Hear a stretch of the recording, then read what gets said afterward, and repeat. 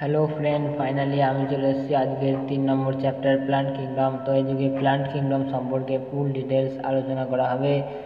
তো দেখো প্ল্যান্ট কিংডমের মধ্যে প্রথমেই এসছে ফাইভ কিংডম ক্লাসিফিকেশন আর এই ছয়টি তার উনিশশো উনসত্তর সালে করেছে, যার মধ্যে মন্ডা, প্রতিষ্ঠা, ফাঙ্গি, অ্যানিমালিয়া প্ল্যান্টটি ছিল। আর এই কিংডম প্ল্যান্টটিটাকেই প্ল্যান্ট কিংডম বলা হয়। তো দেখো, আগেকার ক্লাসিফিকেশনের মধ্যে ফাঙ্গি, মনেরা, প্রতিষ্ঠা, এদের সেলওয়াল থাকার কারণে এরা সব প্ল্যান্টের মধ্যে ছিল। এবং দেখো বলছে কি যে blue green algae cyanobacteria যাকে ব্লু গ্রিন অ্যালগি বলা হয়, সেটা কিন্তু অ্যালগি নয়। তো এখন এই প্লান্ট কিংডমের মধ্যে অ্যালগি বায়োফাইট টেরিডোফাইট জিমনোসাম অ্যাঞ্জিওসাম আছে। তো এগুলোই হচ্ছে প্লান্ট কিংডমের অন্তর্ভুক্ত। তো দেখো বিজ্ঞানী ক্যারোলা সিনিয়ার যে ক্লাসিফিকেশন সিস্টেম করেছিলেন, সেই ক্লাসিফিকেশন সিস্টেমে সুপারফিশিয়াল মরফোলজিক্যাল ক্যারেক্টার তার সাথে সাথে habit colour number shape of leaf এগুলো নিয়ে ক্লাসিফিকেশন করা হয়েছিল। তো এই ক্লাসিফিকেশনটাকে বলা হয় আর্টিফিশিয়াল ক্লাসিফিকেশন এই আর্টিফিশিয়াল ক্লাসিফিকেশন করেছিলেন বিজ্ঞানী ক্যারোলাস লিনিয়াস বলছে আর্টিফিশিয়াল ক্লাসিফিকেশন সিস্টেমে যেমন ভেজিটেটিভ ক্যারেক্টারকেও গুরুত্ব দেওয়া হতো, তেমন সেক্সুয়াল ক্যারেক্টারকেও গুরুত্ব দেওয়া হতো। এই জন্য আর্টিফিশিয়াল সিস্টেমকে অ্যাকসেপ্ট করা হয়নি, কারণ ভেজিটেটিভ ক্যারেক্টারগুলো পরিবেশ অনুযায়ী পাল্টে যায়। দেখো, বলেছে যে vegetative character more easily affected by environment আর দেখো ন্যাচারাল ক্লাসিফিকেশন সিস্টেম যেটা ন্যাচারাল এফিনিটির উপর ভিত্তি করে তৈরি করা হয়েছে, এখানে থাকে, এখানে এক্সটার্নাল মানে বাহ্যিক চিত্রের সাথে সাথে আন্তরাণবিক চিত্রগুলো অর্থাৎ ইন্টারনাল ফিচার্স থাকে, যেমন আলট্রাস্ট্রাকচার অ্যানাটমি এমব্রায়োলজি ফাইটোকেমিস্ট্রি আর এই ন্যাচারাল ক্লাসিফিকেশন সিস্টেমের যে ভাগ সেটা করেছিলেন বিজ্ঞানী জর্জ বেনথাম এবং জোসেফ ডাল্টন হুকার। এই দুজন ন্যাচারাল ক্লাসিফিকেশন সিস্টেম আবিষ্কার করে আর এটাই কিন্তু বর্তমানেও প্রচলিত। তো বলছে দেখো ফাইলোজেনেটিক ক্লাসিফিকেশন সিস্টেম যেটা বেস করে ইভলিউশনারি রিলেশনশিপের উপর তৈরি করা হয়েছে, আর এই ফাইলোজেনেটিক ক্লাসিফিকেশন সিস্টেম তখনই খুবই গুরুত্বপূর্ণ it is become more important when is no supporting fossil evidence যখন কোনো উদ্ভিদ বা প্রাণীর কোনো সাপোর্টিং ফসিল এভিডেন্স থাকবে না, তখন এই ফাইলোজেনেটিক রিলেশনশিপটা কিন্তু খুবই গুরুত্বপূর্ণ।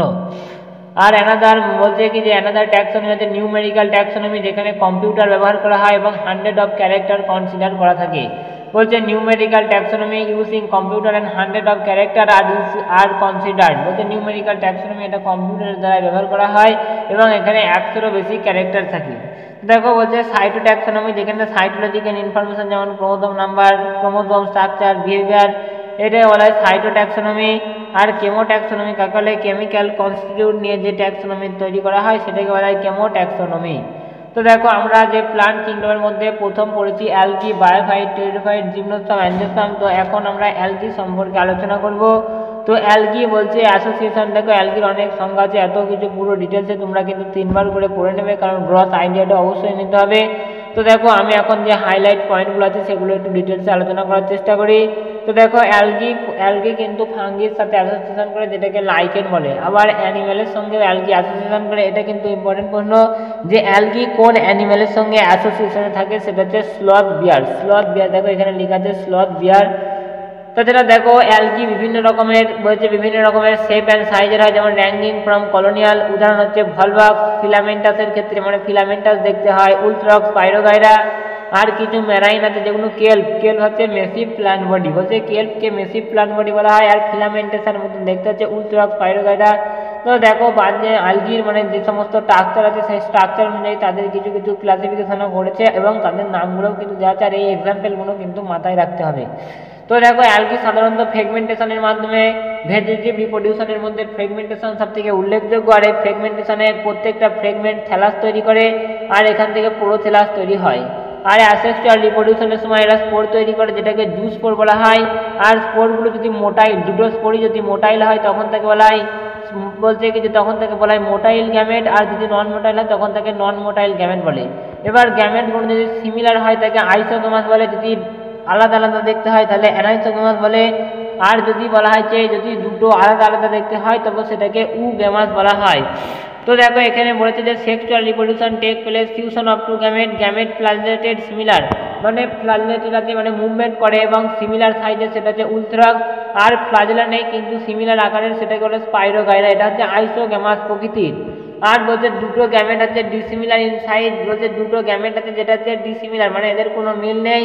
তো এদের উদাহরণ হচ্ছে ইউডরিনা অ্যানাইসোগামাস বলছে দুটো গ্যামেট ডিসিমিলার এই ঘটনাকে বলে অ্যানাইসোগামাস উদাহরণ হচ্ছে ইউডোরিনা বলছে, আর একটা দেখো one large non motile female gamete আর একটা হচ্ছে মোটাইল মেল গ্যামেট হচ্ছে দুটো কিন্তু ভিন্ন ভিন্ন চরিত্র। এদের বলা হয় উ গ্যামাস উদাহরণ হচ্ছে ভলভক্স আর ফিউকাস বলছে ফিমেল গ্যামেল চলাফেরা করতে পারে না মেল গ্যামেট চলাফেরা করতে পারে। এদের বলা হয় উ গ্যামাস আর এদের যে দুটো বলছে উদাহরণ আছে, সেটা হচ্ছে ভলভক্স আর ফিউকাস দেখো, প্রত্যেকটা উদাহরণ কিন্তু খুব ইম্পর্টেন্ট উদাহরণগুলো কিন্তু সবথেকে বেশি বেশি করে মনে রাখার চেষ্টা করবে এবং বেশি বেশি করে রিভাইজ করবে। দেখো অ্যালগির বিভিন্ন যে উপকারিতা আছে, যে আমাদের যে প্রফিট আছে, সে সম্পর্কে কিছু আলোচনা করা হয়েছে। যেমন অ্যালগি কার্বন ডাইঅক্সাইডের মাত্রা কমিয়ে দেয় অক্সিজেনের মাত্রা বৃদ্ধি করে দেয় তাছাড়াও এরা primary producer of it energy compound বলছে প্রত্যেকটা এনার্জি রিচ কম্পাউন্ডের ক্ষেত্রে এরা প্রাইমারি প্রডিউসার হিসেবে কাজ করে। এছাড়াও বলছে ফুড সাইকেল অ্যাকোয়াটিক অ্যানিমেলের ফুড সাইকেলে সাহায্য করে।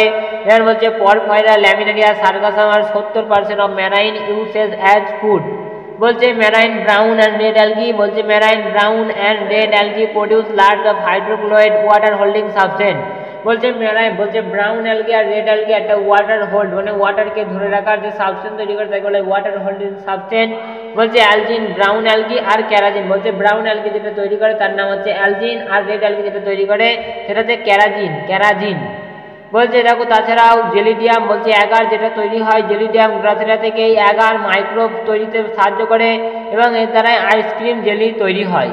এছাড়াও কোলোরেল্লা যেটা স্পেস ট্রাভেলার এটা ব্যবহার করে, এটা সাধারণত মেনলি খাদ্যের জন্য এবং এছাড়াও অক্সিজেন যোগানোর জন্য ব্যবহার করা হয়।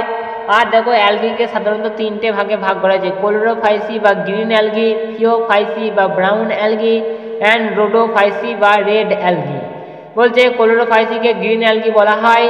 আর এদের প্লান্ট বডি ইউনিসেলুলার প্রকৃতির, আর দেখো কোলোরোফাইসির যে পিজমেন্টগুলো থাকে, এখানে দেখো পিজমেন্টগুলো আর যে স্টোর ফুড সেটা কিন্তু সব থেকে ইম্পর্টেন্ট তো কোলোরোফাইসির পিজমেন্ট হচ্ছে কোলোরোফিল এ বি আর এদের স্টোর ফুড হচ্ছে স্টার্চ বলছে কি যে এদের স্টোর ফুড হচ্ছে স্টার্চ দেখো বলছে কি যে স্টোরেজ বডি পাইরিনয়েড এদের অ্যাকচুয়ালি নাম হচ্ছে পাইরিনয়েড যার মধ্যে প্রোটিনও থাকে আর স্টার্চও থাকে, কিন্তু স্টার্চ হচ্ছে মেনলি আর এদের সেল ওয়াল দেখো বলছে গ্রিন অ্যালগি সেল ওয়াল হচ্ছে ইনার লেয়ার অফ সেলুলোজ বলছে যে দুটো লেয়ারের সেল ওয়াল থাকে একটা ইনার লেয়ার সেলুলোজ আর আউটার লেয়ারকে বলা হয় পেকটোজ আর এরা সাধারণত রিপ্রোডিউশন করে। দেখো, এদের ক্ষেত্রে বলছে ফিওফাইসি, রোডোফাইসি আর কোলোরোফাইসি। এদের কিন্তু গ্যামেটের মধ্যে ফ্লাজেলার সংখ্যারও পার্থক্য আছে। কোলোরোফাইসির দুই থেকে আটটা ইকুয়াল এবং এপিক্যাল ফ্লাজেলা থাকে। আর ফিওফাইসির দুটো ফ্লাজেলা থাকে ওয়ান শর্ট ওয়ান লং আর রোডোফাইসির কোনো ফ্লাজেলা থাকে না। বলছে, দেখো, এবার কোলোরোফাইসি সাধারণত ভেজিটেটিভ রিপ্রোডিউশন করে ফেগমেন্টেশনের মাধ্যমে, আর সেক্সুয়াল রিপ্রোডিউশন করে আইসোগেমাস অ্যানাইসোগেমাস দেখো, এদের সেক্সুয়াল রিপ্রোডিউশন প্রত্যেকটার ক্ষেত্রে কমন আইসোগেমাস অ্যানাইসোগেমাস আর উ গেমাস বলছে, দেখো কোলোরোফাইসির উদাহরণে দেখো, এই প্রত্যেকটা উদাহরণ কিন্তু খুবই ইম্পর্টেন্ট অ্যান্ড মাস্ট বি এটাকে মনে রাখা চাই। তো কোলোরোফাইসির মধ্যে ক্লামাইডোমোনাস ভলভক্স উন্থ্রক্স পাইরোগাইরা চারা বলছে কি যে কোলোরোফাইসির উদাহরণ হচ্ছে ক্লামাইডোমোনাস ভলভক্স উন্থ্রক্স পাইরোগাইরা চারা এবার দেখো ফিওফাইসি মানে হচ্ছে ব্রাউন অ্যালগি ফিওফাইসির ক্ষেত্রে যে পিজমেন্টগুলো থাকে, সেগুলো একদম পুরো কনসেন্ট্রেশন লিসনো হচ্ছে কোলোরোফিল এ সি কোলোরোফিল এ সি থাকে ফিউকোজান্থিন থাকে জ্যান্তোফিল থাকে। আর এই জ্যান্তোফিল বলছে কি যে জ্যান্তোফিলটাই হচ্ছে ব্রাউন পিজমেন্টের জন্য দায়ী, হচ্ছে জ্যান্তোফিল এই জ্যান্তোফিলটাই কিন্তু ব্রাউন পিজমেন্টের জন্য দায়ী। আর তাছাড়া দেখো এদের স্টোর ফুড হচ্ছে কমপ্লেক্স কার্বোহাইড্রেট যাদের বলা হয় ল্যামিনারিন আর ম্যাগনেটল। বলছে এদের স্টোর ফুড হচ্ছে কমপ্লেক্স কার্বোহাইড্রেট ল্যামিনারিন আর ম্যাগনেটল। আর এদের সেলুলজিক ওয়াল দেখো আমি আগে বলেছি যে brown algae brown algae water holding substance তৈরি করে, যেটা হচ্ছে অ্যালজিন ব্রাউন অ্যালগি অ্যালজিন বলছে এদের সেল ওয়ালের পাশ, বাইরে অ্যালজিন থেকে, যেটা ওয়াটার হোল্ডে সাহায্য করে। এছাড়াও এদের ফন্ট লাইক ফটোসিনথেটিক অর্গান আর স্ট্যাক বলছে স্টিপ লাইক বলছে stipe and leaf like photosynthetic organ frond থাকে ভেজিটেটিভ ফ্রেগমেন্টেশন আর বলছে বাইসের বাই ফ্লাইটের পোন দেখো বাই ফ্লাজেলেট এই জন্য বলা হচ্ছে কারণ এদের দুটো ফ্লাজেলা থাকে। আর সেক্সুয়াল রিপ্রোডিউশন প্রত্যেকটার ক্ষেত্রে কেমন? আইসোগেমাস অ্যানাইসোগেমাস উগেমাস আর দেখো ফিওফাইসির বলছে কি যে ফিওফাইসির উদাহরণ হচ্ছে Ectocarpus Dictyota Laminaria Sargassum Fucus Ectocarpus Dictyota Laminaria Sargassum Fucus এবার দেখো রোডোফাইসি রোডোফাইসি রেটাল কি, এর মধ্যে আর ফাইকো এরিথ্রিন এবং কোলোরোফিল এডি এই দুটো পিজমেন্ট থাকে।